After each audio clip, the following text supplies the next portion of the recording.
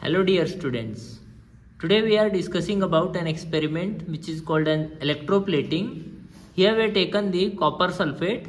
Now we will use a simple technique by using a cathode and anode. We will see the deposition of copper on the negative rod. So let's see.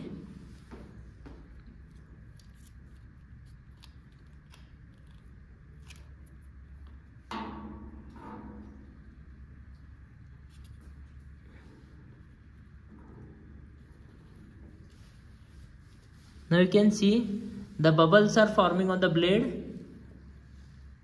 Slowly slowly. And we can see the color of the blade changes into copper color. Let's wait for a few seconds.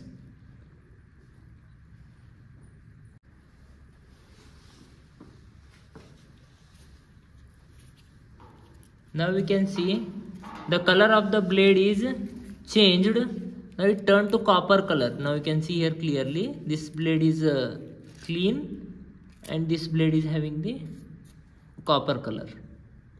The copper metal is deposited on this blade. This is called as electroplating. Now we removed the copper what we obtained on the blade. You can see this is the copper what we obtained